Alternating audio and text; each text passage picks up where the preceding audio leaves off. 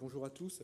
Euh, effectivement, je vais prendre quelques minutes pour vous dire euh, comment aujourd'hui nos clients euh, viennent nous voir et, nous demandent de travailler pour eux sur des solutions sur mesure dans le cadre de ce qui a été dit et ça s'inscrit dans le droit fil de ce qui a été dit par l'étude Stanwell et de ce qui a été dit également par, Florence. Donc je voudrais dresser un, panorama rapide et puis voir les quelques cas d'application qu'on a sur le diplôme, mais surtout sur les formations sur mesure et puis terminer par un, petit graphique qui donnera euh, une illustration euh, graphique donc de ce que peut être euh, l'ingénierie dans une solution sur mesure. Alors, c'est une modalité évidemment qui prend une nouvelle dimension au CFPB, on en, a, déjà parlé, on en fait depuis plus d'une dizaine d'années, me disait Florence. On a senti une accélération chez nos clients en 2013, et je dois dire que depuis la fin 2013 et sur le premier semestre 2014, ça se généralise vraiment énormément. On est très sollicité à Paris, en province, sur des thématiques euh, dans le cadre de parcours et dans le cadre d'opérations euh, coup de poing. Et je pense que c'est un mouvement qui va se poursuivre parce que la modalité est adaptée. Et puis, euh, il y a un enjeu avec la nouvelle loi qui fait que les classes virtuelles vont rentrer dans le pool, sans doute, des modalités qui vont être finançables. Donc, il y a toute une dynamique qui est, qui est positive. Est très portée par la technologie. Euh, on a encore certains clients qui ont, on en parlait avec un collègue euh, banquier qui est dans la salle, des établissements qui sont encore assez fermés sur le plan euh, IT et qui ne facilitent pas les entrées et les sorties, mais on constate effectivement de plus en plus une ouverture et donc nos clients nous disent les portes s'ouvrent, on peut maintenant en parler, essayons d'avancer sur le sujet. Et cette solution de formation, répond à la demande des services de formation. Euh, les responsables de formation, il y en a beaucoup dans cette salle, ils aiment leur métier. Et quand on aime ce métier, ben, on a envie de le développer, on a envie d'innovation, on a envie de proposer des choses innovantes aux métiers et aux opérationnels. Donc je pense que ça, c'est un, un, levier euh, aussi de, de, développement et qui nous pousse à aller vers des solutions sur mesure. Et puis c'est le moment aussi, et l'étude Stanwell l'a montré, les apprenants sont de plus en plus mobiles, ils sont de plus en plus euh, connectés.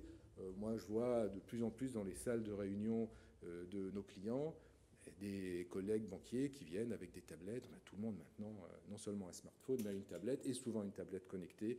Donc il y a un, mouvement euh, maintenant qui est, qui est lancé.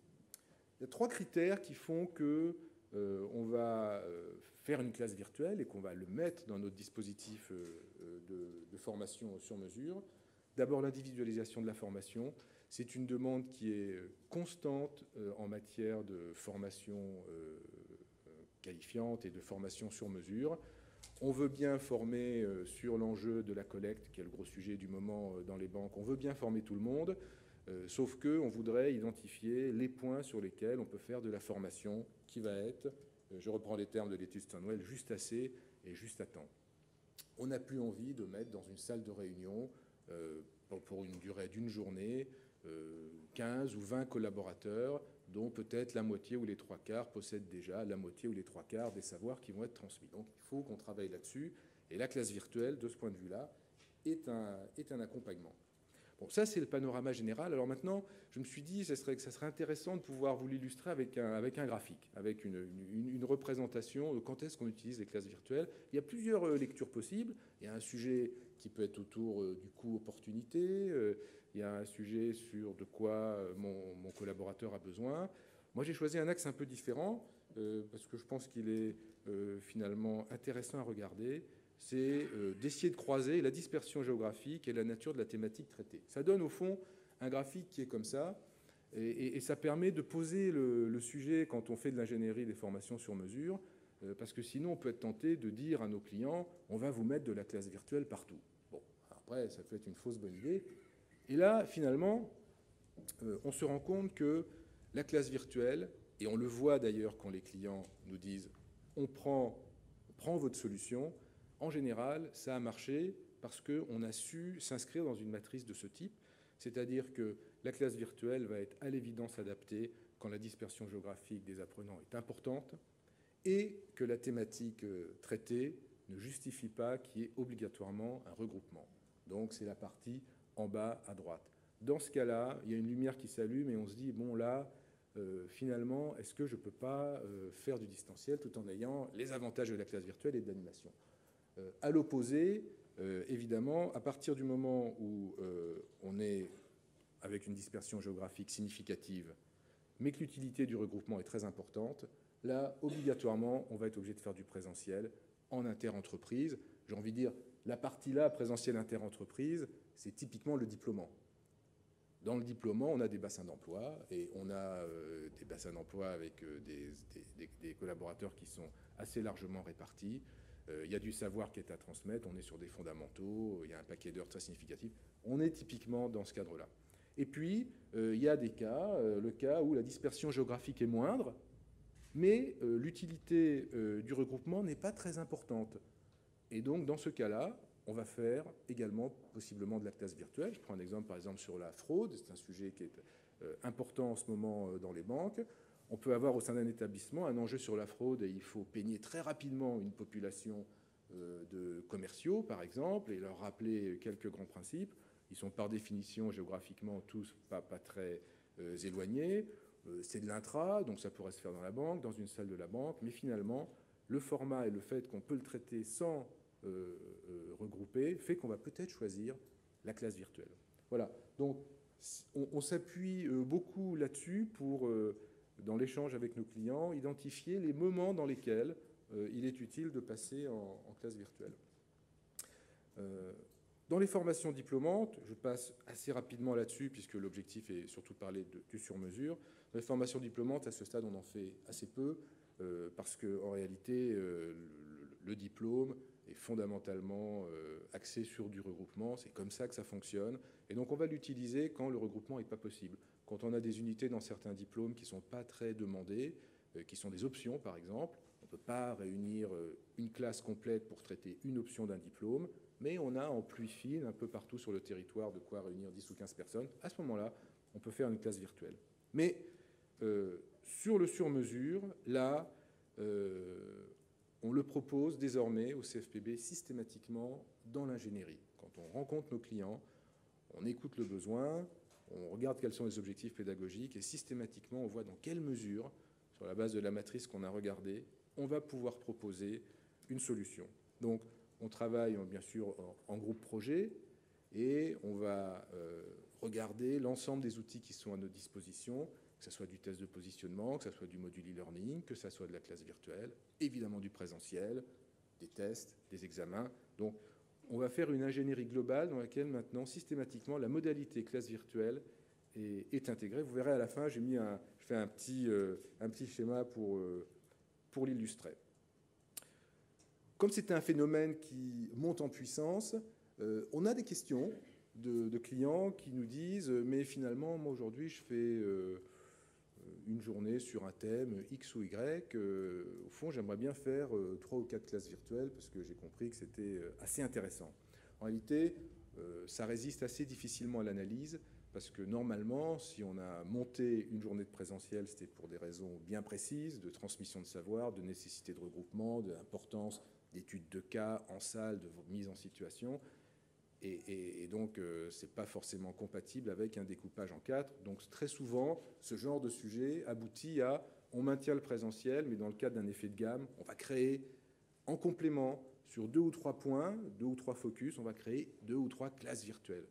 Mais la transformation d'une journée complète euh, de présentiel en classe virtuelle s'avère assez généralement inadaptée. Donc on est plutôt sur une logique euh, dans les classes virtuelles de sur-mesure pure qu'on va construire à partir de briques, euh, qui sont des briques en fait de catalogue, qui sont des briques assez transverses et que derrière on va personnaliser. Euh, on a deux thématiques aujourd'hui en sur-mesure euh, qui sont demandées en matière de, de classe virtuelle les focus de mise à niveau et tout ce qui touche à l'efficacité métier. Tout ce qui est euh, focus, mise à niveau et actualité, c'est demander le réglementaire, la conformité, la fraude, la fiscalité, l'analyse financière, le CEPA dont Nicole va parler euh, tout à l'heure, sont des thématiques qui sont particulièrement adaptées parce qu'on peut en une heure et demie passer en revue 3, 4, 5 problématiques opérationnelles, y répondre et apporter des solutions. L'efficacité métier euh, également, donc de l'entretien commercial à l'atelier des bonnes pratiques. Là, la créativité est à l'œuvre en fonction du besoin du client on est capable, dans une durée d'une heure et demie, euh, de traiter un certain nombre de concepts et de, comportements qui vont être utiles pour l'efficacité des métiers.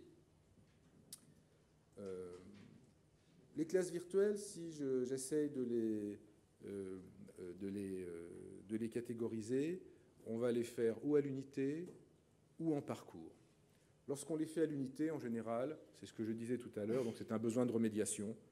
Donc on va voir, euh, là je fais un peu une typologie des demandes qu'on a, ça peut, ça peut susciter des, idées. On peut avoir une opération coup de poing euh, parce que euh, un directeur général d'une caisse régionale de banque va se rendre compte que sur la thématique de la fraude ou sur la fiscalité ou sur d'autres sujets, il a identifié qu'il y avait des manques, il est un peu inquiet, il y a eu un contrôle de la CPR ou je ne sais trop. Bon, il faut faire quelque chose. Et là, typiquement, il faut, en opération coup de poing, passer en revue les problématiques, en nombre limité et s'assurer qu'on a remis à niveau l'ensemble des collaborateurs sur le sujet. Ça peut être un zoom sur l'actualité, typiquement c'est le sujet de la loi de finances, euh, ça peut être euh, donc le zoom d'actualité. En général, on, recommande, nous, un déploiement sur un public homogène. Euh, la classe virtuelle reste quand même du distanciel, et pour que l'interaction soit la plus efficace possible, il est utile que les, les participants soit des participants de même niveau, de même métier, avec les mêmes problématiques, pour qu'il y ce qui a été mentionné tout à l'heure, c'est-à-dire une, interaction et un enrichissement croisé. Les thèmes les plus fréquents qu'on a en remédiation, j'avais déjà cité, réglementaire, et tout ce qui est le risque aux chances larges, le commercial et la fiscalité. Dans le cadre des parcours de formation, euh, là, on est dans une ingénierie beaucoup plus classique. Donc euh, lorsqu'on monte des solutions sur mesure, on ne dit pas à nos clients euh, la classe virtuelle est une panacée et euh, on va faire que ça. On leur dit on va écouter vos besoins et en fonction du sujet que vous voulez traiter, des objectifs pédagogiques, on va voir quelle est la modalité la plus adaptée. Et là, et, donc on crée un parcours. Et là, en termes de parcours, on a deux thématiques qui sont en général demandées montée en compétences et l'effet de gamme dans le cadre d'un parcours interne. La montée en compétences, j'ai pris l'exemple de la collecte. On est très sollicité en ce moment sur la thématique de la collecte parce que, évidemment, euh, tout le monde a besoin euh, d'aller chercher des dépôts. Euh, les banques ont besoin d'aller chercher des dépôts pour leurs obligations réglementaires et, de ratio. Donc, c'est la course à la collecte. Et la course à la collecte, ça suppose évidemment de maîtriser l'épargne financière, l'épargne bilancielle, l'assurance vie, fiscalité. Et, voilà. et donc euh, là, typiquement, la classe virtuelle va pouvoir s'insérer parfaitement dans un parcours de ce type dans lequel on va viser la montée en compétences et on va pouvoir, sur des thématiques euh, identifiées précises, traiter des points en une heure et demie et avoir un véritable retour sur investissement. Et puis le deuxième cas de figure, c'est le complément de gamme. J'ai mes journées de, présentiel, euh, j'ai ma gamme sur le marché du particulier, et sur tel domaine, j'ai besoin d'avoir deux ou trois focus qui soient faits et je veux proposer au métier, je veux proposer opérationnel euh, cette solution d'envoyer tout le monde en salle ou euh, de, faire euh, des focus sur des thèmes précis. Voilà, j'ai essayé de brosser ce panorama de manière assez rapide. Je voudrais pour conclure donner l'exemple, là c'est le cas d'un parcours, je vous ai dit que les classes virtuelles, c'était ou à l'unité, je fais une classe virtuelle sur un thème en mode remédiation. Là, je monte un parcours. Donc, c'est pour illustrer à la fois l'importance, mais en même temps la place de la classe virtuelle. C'est-à-dire que la, classe virtuelle n'est pas tout dans l'ingénierie d'une solution sur mesure, mais elle est un complément qui va l'enrichir beaucoup. Donc, voilà un exemple euh, de, ce qu'on fait en matière de solutions sur mesure et de l'endroit où on passe des classes virtuelles. Donc, j'ai euh, j'ai un peu mis la totale pour, pour euh, que ça soit assez explicite. On va commencer par du test de positionnement. Je suis toujours dans l'idée, je veux du juste à temps, je veux du juste assez. J'ai pas besoin de former forcément tout le monde, en tout cas pas à ce moment-là. Bon, à l'issue des tests, je segmente, je fais des catégories homogènes, et puis, ben, en fonction des catégories, je vais décider quelle modalité de formation j'utilise. Ça va être de l'auto-formation, euh, ça va être là de la classe virtuelle sur une thématique identifiée, mais une classe qui ne sera pas forcément la même que celle du groupe numéro 2, qui lui aura peut-être des besoins euh, qui seront différents. Et on peut imaginer derrière qu'il y ait un regroupement présentiel pour rebalayer les sujets, et puis on peut imaginer derrière qu'il y ait un test de validation, voire un examen. Voilà, de manière euh, schématique et rapide, la, place de la classe virtuelle dans une ingénierie de solutions sur mesure telle qu'on sait qu'on la pratique aujourd'hui au CFPB.